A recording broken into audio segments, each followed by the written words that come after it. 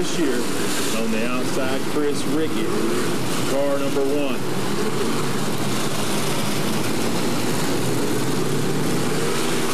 Well, the one to go signal being given. The Haraline Chrysler Plymouth Pace car pulls into the Knoxville Collision Center infield. And it field has been given to Daryl Watson up in the U.S. Cellular start finish line flag stand tonight. He's got the green flag in hand, and it will come out when the drivers come out of turn four to the white line. And we are green flag racing.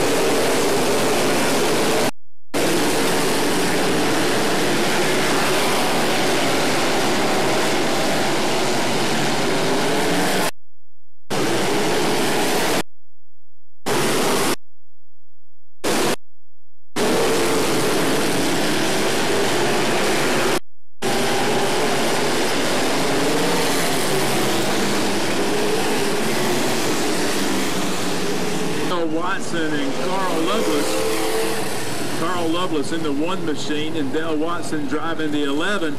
Dugan, your leader. Clayton Turner in second. Mike Lewis third. Chad Ogle fourth. Wayne Rader rounding out the top five.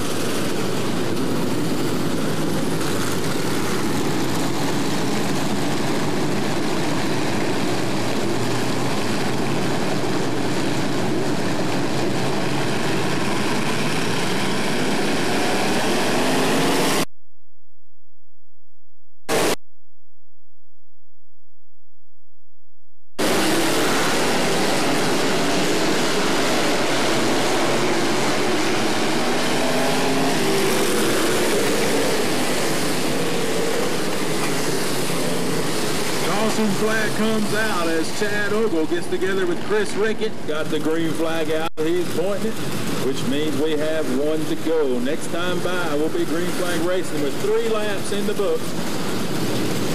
Nine to go in the 12-lap feature event. Dan Dugan has them in tow. And if he can get around the 37 machine of Dugan.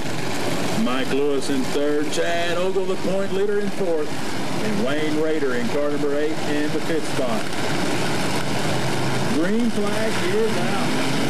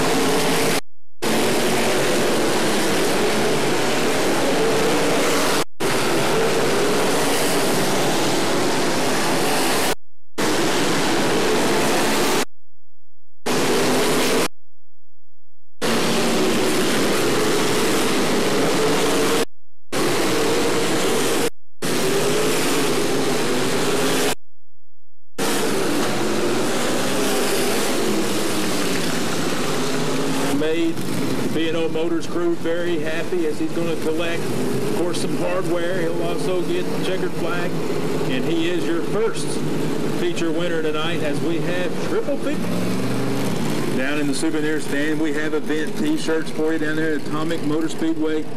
The Double Thunder Week.